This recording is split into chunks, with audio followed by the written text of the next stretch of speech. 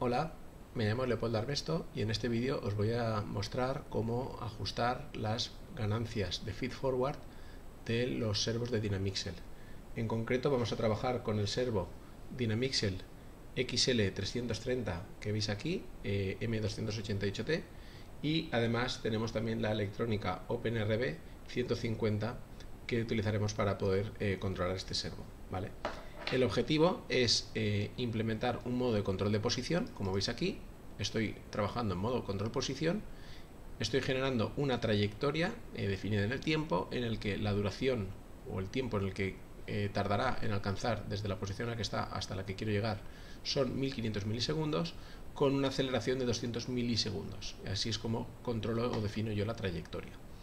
Además puedo definir las ganancias del PID que tiene por defecto eh, si, os, si, os, vais a los, a los, valores de fábrica, tiene 400 en la, en la, en la constante P, eh, 0 en, uh, en I y 0 en, uh, en, la constante derivativa. ¿vale? La constante integral serían 0 y 0 la derivativa. Y también tiene 0 en las dos ganancias que tiene feedforward. La primera es para la velocidad y la segunda es para la aceleración. Vale. Bueno, pues el objetivo es que veáis qué es lo que sucede cuando tenemos los valores estos por defecto. Voy a subir este código y veremos eh, lo, que, lo que sucede. Bueno, como veis aquí, de todas formas estoy monitorizando tanto la posición, la, la propia trayectoria como la posición objetivo. Vale, vamos a ver qué es lo que sucede. Bien, aquí lo que sucede es que estaba en una posición, lo he llevado a otra y como podéis apreciar existe un error importante entre lo que sería la trayectoria de posición con respecto a la propia posición del servo. ¿Vale? Para evitar este error, lo que tenemos que hacer es subir o modificar las ganancias feedforward que incorpora el propio servo. Aparte de que podamos jugar con las propias ganancias del PID.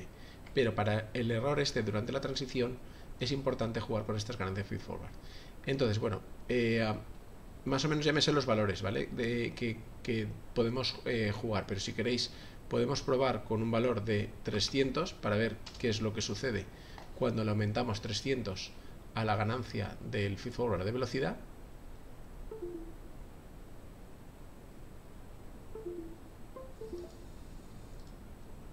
y veremos un pequeño cambio en la respuesta en el que se ha acercado mucho más, se ha reducido el error durante esta zona de aquí en la que íbamos a una velocidad constante.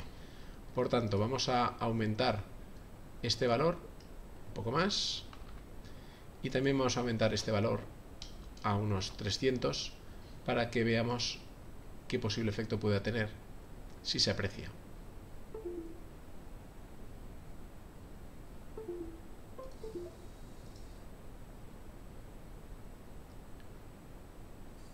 Bien, como veis aquí, ahora la posición sigue de forma mucho mejor la trayectoria. Es verdad que sobreestila un poco, ese comportamiento no nos acaba de agradar, por tanto podemos intentar reducir un poco eh, esta ganancia y esta ganancia de aquí.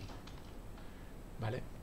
Además, eh, si queréis, le podemos aumentar también la constante integral para ver qué efecto tiene sobre el final de la trayectoria.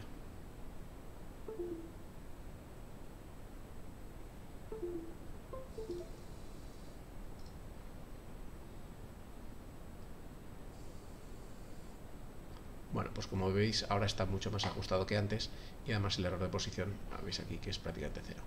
¿Vale? Podríamos jugar también algo con la, la, constante derivativa, pero esto ralentizará un poquito la respuesta del motor, ¿vale? A costa de no hacerlo sobre oscilatorio, ¿vale? Podríamos jugar un poco con esta constante derivativa también.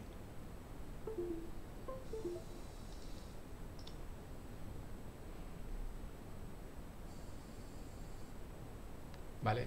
Cuánto apenas se ha notado el efecto, ¿vale? Y luego ya ha corregido la constante integral, como veis aquí, ha corregido un poquito el, la, el error, ¿vale? Lógicamente tiene un error de, de cuantización. Bueno, pues muchas gracias.